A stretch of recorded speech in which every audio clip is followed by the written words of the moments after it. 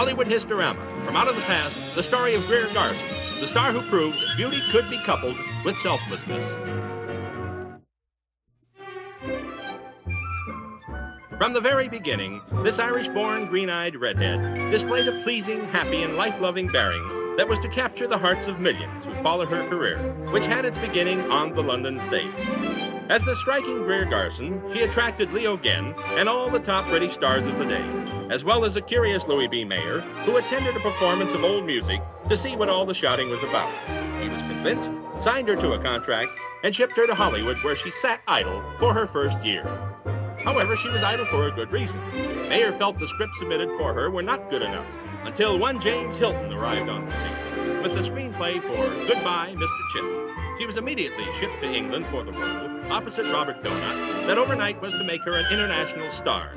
Returning to Hollywood, Remember and Pride and Prejudice preceded the memorable Blossoms in the Dust, which introduced her to Walter Pidgeon, her co-star of many pictures to follow, and affixed in the public's mind Greer's successful image of a beautiful woman dedicated not to sexuality, but to good works.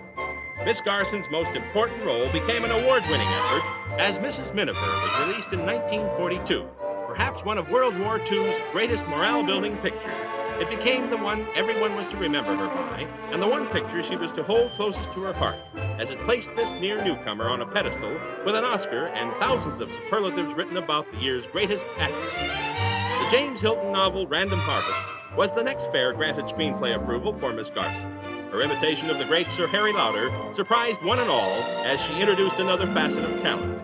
Chosen by exhibitors as Hollywood's most popular screen actress, Greer consented to making guest performances in other films, such as The Youngest Profession, but soon after set to work in earnest in what some considered to be an equal effort to her Mrs. Miniver. As Madame Curie, the French scientist who discovered radium, her penetrating and powerful performance won her a second Academy Award nomination. By now, the Garson influence upon the Academy of Motion Picture Arts and Sciences was becoming a habit, as again, with her favorite co star, she teamed with Walter Pidgeon for her next Academy nomination as Mrs. Parkington. This warm and understanding actress adeptly portrayed the seven ages of man with an ease that made a very difficult task seem almost effortless, and fans rewarded her again by voting her the screen's most popular actress, who obligingly stole the affection of Clark Gable in Adventure, his first upon discharge from active service. With the slogan, Gable's back and Garson's got him, she became the envy of women everywhere. With Julia Misbehaves, that Forsyte woman, which teamed her with Errol Flynn and Robert Young, the Miniver story, the sequel to her greatest hit, fittingly climaxed the career of this Irish Colleen who managed to steal the heart of her American public.